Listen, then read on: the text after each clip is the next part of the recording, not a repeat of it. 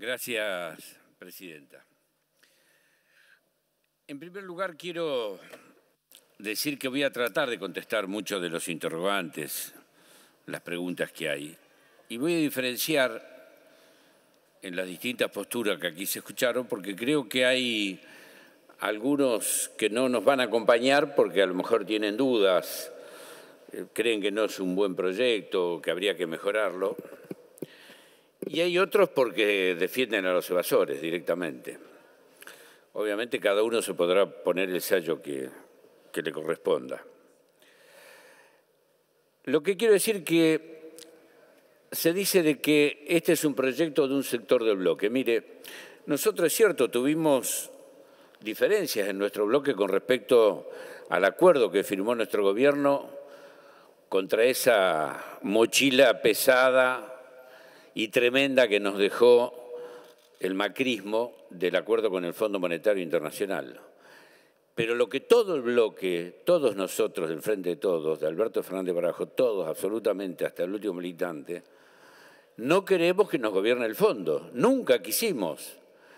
Y cuando acá se dice son eslogan, bueno, mire, sí es cierto, nosotros tenemos eslogan. Por ejemplo, no al Fondo Monetario Internacional. Bueno, podrían tener otro eslogan que diga sí al Fondo Monetario Internacional. Nosotros tenemos eslogan, memoria, verdad y justicia. A lo mejor del otro lado podrán decir sí al dos por uno de los represores. Nosotros podremos decir queremos la ciencia y tecnología argentina y otros podrán decir nosotros queremos comprar todo importado. Otros podrán, nosotros decimos defendemos la industria nacional y otros dicen no, que venga la industria importada y importemos todo. Por lo tanto, cuando aquí se habla de eslogan tratando de desprestigiar este proyecto, yo digo que sí que tenemos, porque tenemos objetivos, porque tenemos principios, porque tenemos convicciones y porque además cuando hemos gobernado lo hemos demostrado que lo hemos cumplido. Por eso aquellos que dicen que esta es una cuestión interna del bloque, no, mire, todo el bloque, todo el frente de todos no quiere gobernar con el Fondo Monetario Internacional. Pero lo tenemos, lamentablemente, lo tenemos encima. Quiero mostrarles unos gráficos aquí. Este primer gráfico. Este primer gráfico está la deuda que nos dejó Macri con el Fondo Monetario Internacional. A pagar en el año 2021 6 mil millones, en el año 2022 18 mil millones, en el año 2023 19 mil y en el 2024 4.800. A esto hay que agregarle la deuda privada y todo lo demás. Obviamente, alguno de los integrantes de Juntos por el Cambio puede decir que esto fue serio, fue razonable, fue estudiado. Una irresponsabilidad absoluta y total. Claro, estaban enamorados de Christine Lagarde, por eso hicieron esto.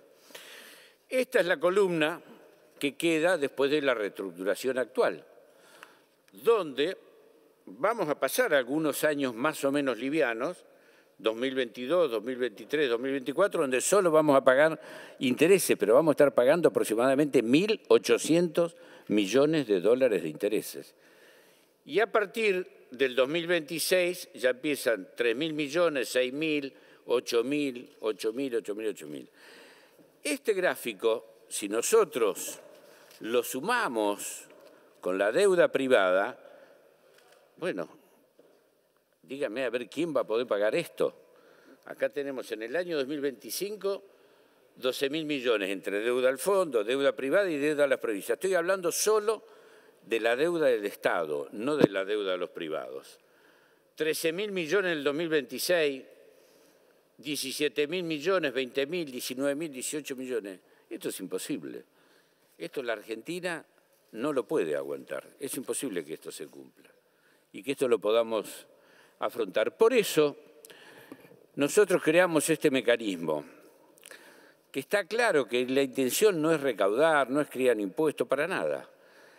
Nuestro objetivo, claro, para que esto se entienda, es sacarnos de encima al Fondo Monetario Internacional, como lo hizo Néstor Kirchner en el 2015, perdón, 2005. También en esa época cuando Néstor Kirchner junto con Lula le pagaron la totalidad de la deuda de una sola vez al fondo, también se decía que ahí había titulares de los diarios y economistas, que hoy también los vemos deambular por los canales de televisión diciendo esto nos aísla del mundo, nos separamos, no van a venir inversiones, esto va a ser un desastre. Nunca se hizo, claro, nunca se había hecho. Lo hicieron Lula y Kirchner. ¿Qué nos permitió? Bueno, 13 años que el Fondo Monetario Internacional no estuviera en la Argentina, hasta que llegó en el 2018 por el default privado que dejó Macri después del arreglo con los fondos buitres. 2016, 2017 y el 2018 se quedó sin plata. Él mismo lo dijo, se le habían llevado. Entonces el objetivo que quede claro, nosotros es cancelar totalmente la deuda con el fondo, esto es lo que queremos. Y creamos esta herramienta. Podrán decir, puede haber otra, a lo mejor, hay que mejorarla posiblemente, pero bueno, nosotros creemos que esta es una herramienta útil. Y además, le voy a decir, esta no es obra de uno o dos senadores que se nos ocurrió. Mira, acá participó mucha gente, contadores, economistas, abogados, varios senadores. También participó gente que estuvo en algún momento en los que llaman, ¿saben cómo lo llaman? Bueno, algunos a lo mejor seguro, porque fueron parte, funcionarios de Cambiemos, que formaban parte de las unidades de bancas privadas. ¿Qué son las unidades de bancas privadas? Son las oficinas que tienen los bancos para ellos dicen ilusión y fugar divisas al exterior, llevárselos dinero. También nos colaboraron y nos dieron herramientas y nos dijeron cómo se hacen esas maniobras. ¿Y esto qué es lo que significa? Acá se dijo no es equitativo, es arbitrario. Mire, no hay más equidad fiscal que esto precisamente que esta herramienta que estamos creando, porque acá le vamos a liberar a todos los argentinos, a la clase media, a los exportadores de soja, absolutamente a los más ricos, a todos les intentamos con esta herramienta sacarle de encima los pagos de la deuda con el Fondo Monetario Internacional. Porque si no esto, estos gráficos, alguien lo va a pagar. Por ahora no refinancia, pero va a llegar el día que se va a pagar con menos gas en los hospitales, con menos tiza en las escuelas, con menos netbook, con menos turistas al exterior, con dólar sobre alto. De esa manera, no hay otra manera. ¿Qué es lo que estamos nosotros diciendo? Vamos a iniciar un camino para lograr cancelar la deuda y que ésta lo pague quienes. Los que fugaron plata, formación de activos externos en el exterior, y además no la declararon. Acá se habló de los problemas de la fuga. Claro que es un problema la fuga, la formación de activos externos en el exterior. Nosotros lo tuvimos durante el gobierno, ya lo hemos dicho varias veces. Durante los 12 años se fugaron 84 mil millones. Ahora, en cuatro años fueron 86 mil millones. Y acá también se mencionó, alguien que había escuchado por radio a una ex ministra de Economía, dar cifras. Me llama la atención que la confusión que tienen. Porque una cosa es la balanza comercial, otra cosa son los pagos que ahora había mencionado, y otra es la formación de activos en el exterior. Claro que 2020 y 2021 hubo balanza comercial altamente favorable para la Argentina, aproximadamente 30 mil millones de dólares, más los 4 mil que vinieron de fondo, es una cifra muy importante. Y dice, toda esa plata se fue. No, no se fugó, no sé formación de activo al exterior. Eso es otra cosa. Y le voy a decir qué es. 2020, pago a los acreedores privados externos. 2020, 2.000 millones, 2021, 500 millones. Pagos al Fondo Monetario Internacional. 2020, 1.560, 2021, 5.070. Pagos netos a otros organismos financieros internacionales, Club París y demás. 520 y 700 millones. Pago de deuda financiera de las empresas privadas, 3.000 millones en 2020 y 5.030 en el 2021. Compras particulares en el mercado minorista, estos son los compras de los 200 dólares, 2.000 millones en el 2020 y 600 en el 2021. Intervención en el mercado de contado con liqui en el MEP, 1.000 millones y 2.000 millones. Y servicios, flete, seguro, viaje, utilidades, 1.500 y 4.500 millones. Esto no es fuga, estos son pagos. En total son 29 mil millones de dólares de esos 30 mil que había este, existido superávit fiscal. Si usted me pregunta si yo estoy contento con esto, no, la verdad que no. Me hubiera gustado a mí, sin duda, que el Banco Central hubiera podido tomar algunas medidas para evitar esto, porque acá claramente esto fue con el superávit comercial que tuvimos.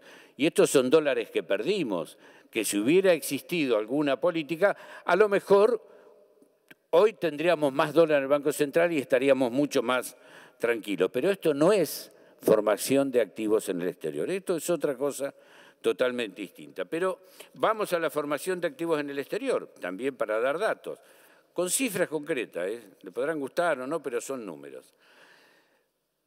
Posición de inversión internacional, fuga, 2012-2015, 6%, esto tomando relación a los montos que ya existían. 2016-2019, 44%. 2020-2021, 5%. ¿Estoy conforme con esto? No, claro que no. Tenencia de moneda extranjera y depósitos en el exterior, obviamente residentes argentinos. 2012-2015, el aumento, 19%. 2016-2019, 47%. 2020-2021, 6%. Obviamente me hubiera gustado que esto hubiera sido mucho menor. Inversión de cartera de argentinos en el exterior, formación de activos. El porcentaje incremento 2012-2015, 29%. 2016-2019, 66%. 2020 2021, 19%. Obviamente, que a mí me hubiera gustado, obviamente, que esto hubiera sido mucho menor. También quiero decir que con este proyecto nosotros estamos planteando que en algún momento va a haber que empezar, por ahora le pagamos intereses, pero en algún momento va a haber que empezar a pagarle los dólares al Fondo Monetario. Ahí está en el 2026. ¿De dónde van a salir los dólares? ¿De la actividad del PBI nuestro, de lo que generamos aquí? No. Nosotros prevemos que sean de los dólares que se fugaron.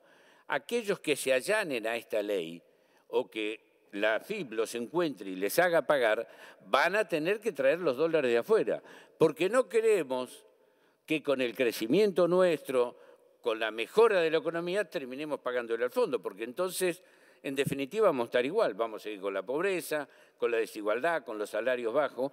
Por eso planteamos claramente que queremos que los dólares vengan del son de los que están afuera. Acá se ha eh, objetado el tema del colaborador. Mire, le voy a dar algunas cifras. En Estados Unidos hay una ley que ellos lo llaman el denunciante. Se puso, es una ley de acta de transparencia corporativa del 2019 de Trump y que la comenzó a aplicar eh, Biden. En el año 2020 lograron ubicar en el exterior dinero de residentes norteamericanos no declarados en el exterior, 6.140 millones de dólares. Y hubo recompensas por mil millones de dólares. Son datos oficiales de ellos, ¿eh? en un año nada más. Eso es lo que ellos Por eso, nosotros obviamente estamos muy entusiasmados y además con muchas ganas de que esta ley no solamente sea ley y se apruebe en diputados, sino que además después todas las fuerzas políticas trabajen para que esto se pueda lograr y que definitivamente, como acá muchos de los opositores dijeron, los evasores y los que fugaron además sean los que paguen los platos rotos de este lamentable acuerdo que tenemos y que se viene como consecuencia de ese arreglo con el Fondo Monetario Internacional en el 2018.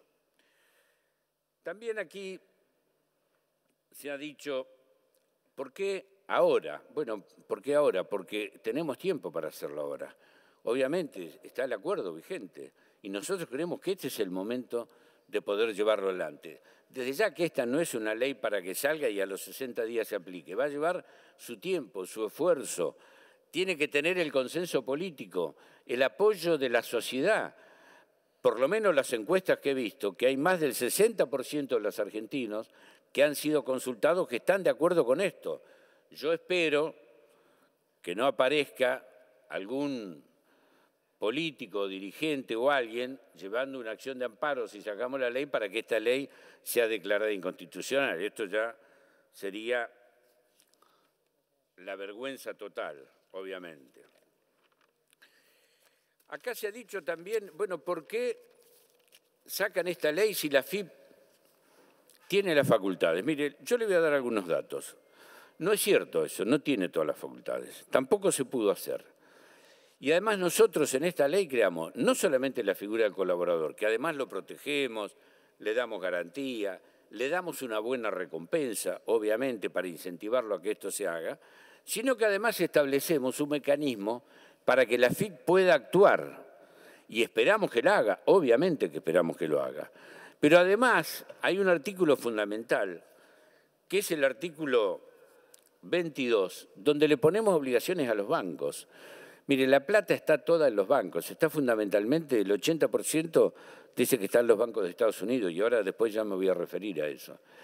Y son los bancos los principales responsables. Y acá, como dijo el senador Rodríguez A., cuando se llevaban la plata, todos los vimos, ¿se acuerdan? La Juncadela, que se iban en avión, después iban al Citibank, al Bank, decían, no, es banco local, el banco extranjero no paga nada, ahora es una sociedad distinta, y nos vacunaron a todos los argentinos. Y después tuvimos que pagar todos esa deuda. La terminamos pagando nosotros. Los bodenses terminaron pagando en la época de Cristina Kirchner. Acá ponemos una cláusula donde si la FIP detecta que un ciudadano argentino o tiene la sospecha que un ciudadano argentino residente tiene dinero no declarado en, voy a dar cualquier nombre, en el ACBC, no sé, de Jamaica o de las Bahamas o de Estados Unidos, le pide la información y no se la dan, acá dice que la FIP se dirige al Banco Central de la República Argentina y el Banco Central de la República Argentina tiene que incluir en la ley de entidad financiera obligación de los bancos locales de dar esa información. Y si no, tiene que considerarlo faltas graves de acuerdo a la normativa de la ley de entidad financiera, que puede llegar hasta la cancelación de la autorización para funcionar en la Argentina. Alguno va a decir, ay, esto es grave. No, no es grave. Esto hay que animarse a hacerlo simplemente. Obviamente, son los bancos, no es poca cosa. Y voy a contarles algo. Acá ustedes se acuerdan, en el año 2015 llegaron 4.000 cuentas del HBC y después vinieron 950 más de Francia. ¿Qué hizo la gestión de Cucciol y de Abad con estas casi 5.000 cuentas? ¿Cuántas investigaciones hicieron? Nada, absolutamente nada. Acá se habla también del blanqueo y de los acuerdos, que hay ya acuerdos internacionales firmados. Mire, esto también la verdad que hay que estudiar, hay que, hay que ver las cosas. Em, en el año 2011, 2012, se firma el convenio, el gobierno de Cristina Kirchner, con la OCDE, la Organización Económica Internacional. Ese convenio preveía por los convenios que después se firmaron en el 2015, que firmó Cristina Kirchner, que a partir del año 2018 y 2019 iba a comenzar a fluir la información de los residentes de otros países que cada país pidiera. De manera que el blanqueo que hizo el macrismo, que fue un éxito, obviamente, claro que fue un éxito. ¿Por qué lo hizo? Primero, gracias a ese acuerdo que había firmado Cristina Kirchner.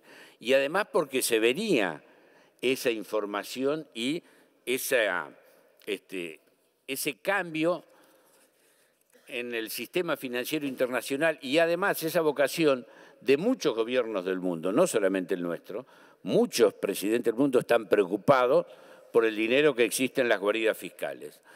Acá se habla de los convenios. Mire, hay tres tipos de convenios. Multilaterales, que son los que firmó Argentina, que se firman, bilaterales y los convenios de doble información. Bilaterales para dar información impositiva y fiscal. La Argentina tiene 97 convenios. Antes del 2013 había 11 convenios bilaterales firmados.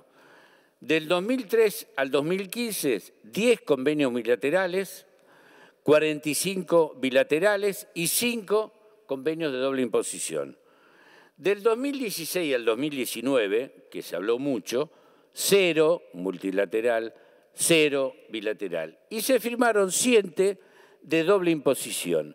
Pero esto de doble imposición, lamentablemente, lo que muchas veces significa que nosotros damos la información y esa doble imposición terminan pagando en otra jurisdicción y no pagando acá en la Argentina. Es decir, le, autorizamos a que paguen en otro lado. Esto fue lo que hizo el gobierno de, de Cambiemos. Ahora se va a abrir, yo espero obviamente que la FIP lleve adelante la investigación. Acá le estamos ampliando la facultad y dando más facultades. Mire, les voy a dar otro dato también. Durante el año 2018 y 2019 llegaron a la Argentina, durante el gobierno de Macri, 600.000 cuentas financieras de argentinos en el exterior. Esto están en la FIP durante el año 2018 y 2019, producto de estos acuerdos que hemos mencionado que se han firmado. el blanqueo que hizo Macri fueron 254.000 contribuyentes los que participaron, pero muchos de ellos chiquitos. Pero 105.000 fueron los que denunciaron que tenían plata en el exterior. Saquen la cuenta. Si hay 105.000 que están denunciados y hay 600.000 cuentas hay 500.000 que no lo han denunciado. ¿Qué tiene que hacer la FIP? Investigar esto, claro. Yo espero que lo haga, sin duda. No lo hicieron ni Abad ni Cusioli. Y a lo mejor es probable que no lo hayan hecho porque muchos de los funcionarios del gobierno anterior, no digo los senadores ni los diputados, pero esos funcionarios que manejaron la política económica tenían fondos en el exterior. Nosotros tuvimos al cargo de la UIF al titular del HBC, que es el banco más estafador en el mundo. Tuvimos a una directora que había sido funcionaria del HBC. Es decir, obviamente que ellos no iban a buscar a los evasores, porque seguramente se iban a encontrar a ellos mismos. Entonces, yo no quiero ser injusto y culpar a todo Cambiemos, porque sería absolutamente injusto. Pero sin duda que hay funcionarios de Cambiemos que son responsables totalmente de esto. Y acá también se mencionó casi como una chicana la ley Muñoz, y bueno, mire, falleció, está la causa penal, pero que se, se olvidan de Gianfranco Macri. Gianfranco Macri blanqueó 37 millones de dólares en negro que había ganado durante la gestión nuestra. No se sabe de qué. Si fue de corrupción, si fue de lavado de dinero, trata blanca, nadie sabe. Después resulta que la madre dijo, no, de esos 37 millones, 25 millones eran míos. Bueno, ¿saben dónde está eso? Eso está en la Corte. La denuncia que hizo el, diputado en ese momento, Felipe Solá, está en la Corte. Hace dos años que la causa está paralizada porque la Corte no lo trata. Bueno, eso es lo que nosotros queremos que se termine, esta libertad para evadir, para fugar, para esconder y además para después tener impunidad como está en este, clarito en este caso.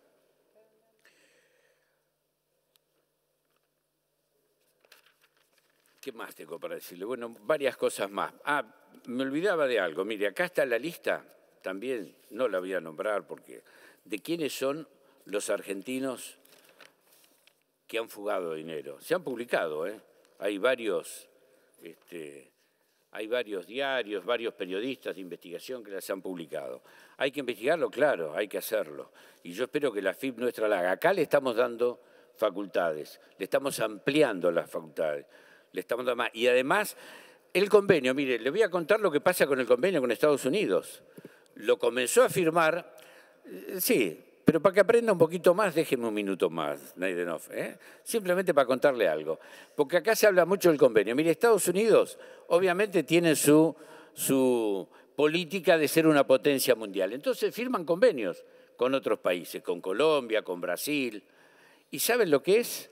Es esos países se obligan a darle la información a ellos de los residentes norteamericanos que están en su país, pero no viceversa. Y nosotros tenemos firmado el mismo convenio con Estados Unidos. Tenemos firmado un convenio de, eh, se llama recíproca, de información recíproca, pero ellos a nosotros no nos las dan la información. Y Estados Unidos firma dos tipos de convenios. Uno con las instituciones financieras, las obliga, y si no le cumplen, en Estados Unidos le aplican sanciones monstruosas. El último dato que conocía que había existido en los últimos tres, cuatro años 37 mil millones de dólares de, multas que habían aplicado el gobierno de Estados Unidos a los bancos que no les daba la información. ¿Qué es lo que nosotros tenemos que hacer? Y espero que en esto la oposición nos acompañe. Y yo espero también, lo digo con toda claridad, que nuestro gobierno apure los trámites con Estados Unidos para que Estados Unidos firme el convenio donde ellos se comprometen a darnos la información de los residentes argentinos en el exterior. Eso falta, hay que hacerlo. Hay un nuevo embajador, tenemos nuestro embajador en Estados Unidos. Bueno, ojalá este convenio lo podamos celebrar rápidamente y ojalá la oposición también nos acompañe. Y después que juntos vayamos a pedirle al gobierno de Estados Unidos que nos ayude y al Fondo Monetario Internacional que nos ayude a buscar a los evasores argentinos que están en el exterior y que ellos tienen sus datos. Y de esta manera vamos a poder cobrar y recaudar fondos para sacarnos de encima definitivamente al Fondo Monetario Internacional. Acá se dijo también que, eh, lo, que este era un, era un blanqueo, que era para beneficiar. Mire, el objetivo nuestro es sacarnos encima al fondo. Esto tiene que quedar claro. Este es el primer objetivo. Y buscamos la plata de los evasores que la tienen afuera. Después hay consecuencias colaterales de todo esto. Acá se hicieron, mire, por ejemplo, una persona que haya, que tenga un millón de dólares afuera, puede en los primeros seis meses solucionarlo con 200 mil dólares, si no después con 350 mil dólares. Si lo identificamos y paga en los 15 días, en los 15 días, 500 mil dólares, y si no, ¿qué le va a pasar? De ese millón de dólares tiene 385 mil de ganancia más la renta consumida, como aquí también se explicó, 230 Senador, disculpe, le está dejando 13 minutos a la senadora con la que comparte el tiempo nada más, ¿eh? Le aviso. Bueno, 82.500 pesos. Bueno, en total, una, llevaría a 4 millones de pesos o de dólares. Y además prisión de 3 años a 6 meses. Obviamente que esta no es una ley, como decíamos en algún momento, de feliz cumpleaños, ni que nos van a felicitar, ni que van a sacarnos titulares en los diarios a favor. Vamos a tener de todo en contra, de todo en contra. Nosotros, nuestro bloque está decidido, todo el bloque, a sancionar esta ley. Y obviamente que también tenemos el compromiso del Gobierno Nacional para llevarla adelante. Yo espero que ustedes, el bloque opositor, tengan una actitud. Porque si piensan gobernar la Argentina en el 2023, mire, se van a encontrar con esto. Esto es lo que se van a encontrar. 20 mil millones de dólares por año van a tener que pagar. Dígame, ¿ustedes, ¿ustedes imaginan que lo van a poder llegar a pagar? La balanza comercial no llega a los 12, 15 mil millones y después 20 mil millones de dólares por año. Entonces, si no empezamos a buscarle soluciones, en 2023 puede ganar quien fuere en la elección, pero el país va a explotar. Esta es la absoluta verdad. Entonces, nosotros con humildad, con compromiso y pensando realmente que se puede ganar o perder una elección, esto es anecdótico, pero lo importante es cómo se gobierna y para quién se gobierna. Entonces, por eso queremos sancionar este proyecto de ley. Y al senador presidente del bloque, decirle no, que se ríe mucho, ojalá sea también usted gobernador, a lo mejor alguna vez tiene suerte y tenga la responsabilidad de gobernar y de decidir, donde se terminan los discursos, se terminan las mentiras, se termina todo y empiezan las realidades. La realidad que esta es la Argentina que tenemos. Nosotros humildemente estamos tratando de buscarle una solución. ¿Podrá mejorarse? Estamos dispuestos a hacerlo, se lo dijimos. Es más, de los aportes que hicieron algunos invitados que ustedes trajeron, los incluimos y están incluidos en este proyecto, porque nos pareció razonable que había que incluirlo. Entonces, bueno, no le quiero robar más tiempo a mi Le está dejando solamente 10 minutos a la senadora Itulio. Agradecer a todo el bloque por, por la predisposición, por el debate que tuvimos entre nosotros y fundamentalmente porque hoy estamos cumpliendo un compromiso histórico con las generaciones que vienen, que es comenzar por lo menos a transitar un camino que nos saque de este fenomenal embrollo que nos han dejado. Gracias. Gracias, senador.